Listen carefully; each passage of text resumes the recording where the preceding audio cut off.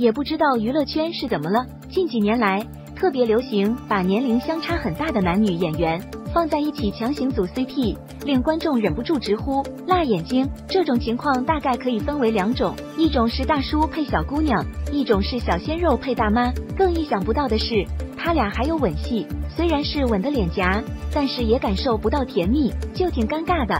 此前。电视剧做自己的光官宣演员阵容，刘涛、刘宇宁扮演情侣，在网上引发热议。先说刘涛，她真的不适合与鲜肉恋爱的戏份啊！之前她因星辰大海装嫩遭到了群嘲，开端播出后演技又受到了质疑，这些年她的口碑下降了很多。再说刘宇宁，长歌行后。他渐渐在影视剧打开了市场，这些年他的作品不间断，除了与刘涛合作，还搭档刘诗诗出演《一念关山》。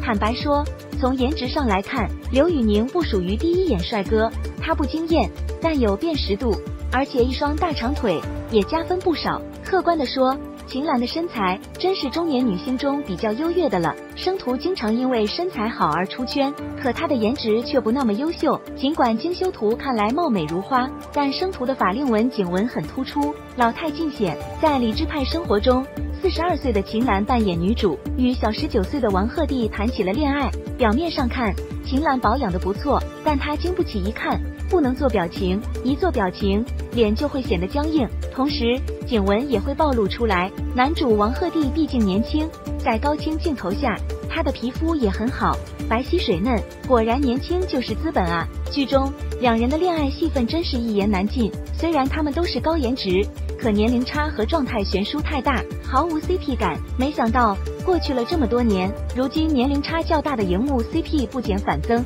观众看的真的太尴尬了。